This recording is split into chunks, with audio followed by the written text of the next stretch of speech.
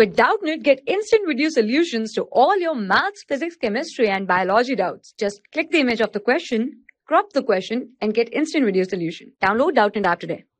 Hello students, here the question is a wedge-shaped block A of mass capital M is at rest on the smooth horizontal surface. A small block of B of mass small m is placed at the top of the edge of a inclined plane L as shown in the figure. By the time the block B reaches the bottom end, the wedge A moves a distance of what?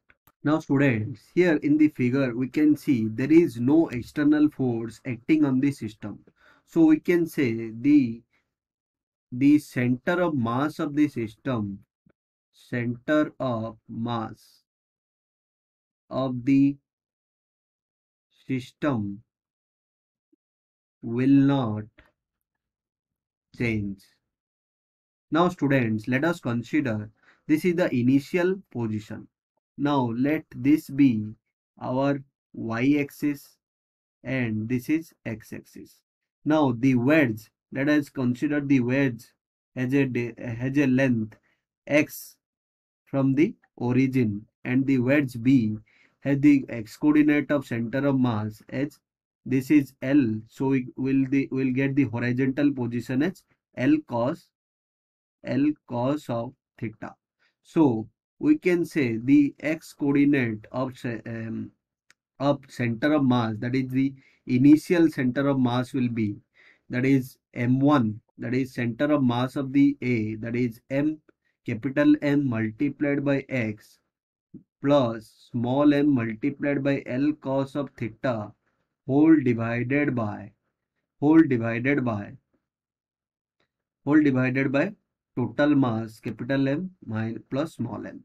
Now students, let us consider the later position. That is this is the uh, this is the y coordinate and this is the x coordinate. And the wedge has moved a distance x1 this distance is x1 so and the b b wedge reaches the ground and it has moved a distance x1 now this distance of B from the origin is x1 and the wedge has a distance x1 plus x.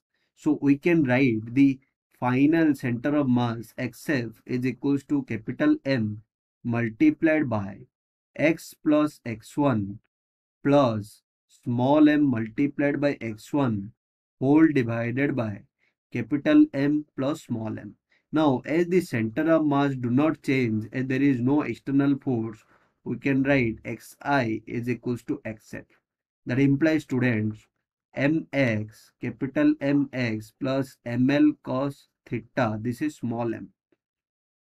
This is small m divided by capital M plus small m is equals to capital M multiplied by x plus x1 plus m into x1 whole divided by capital M plus small m.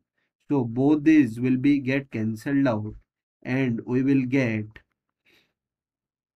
capital MX plus ML cos of theta is equals to capital MX plus MX1 sorry this is capital M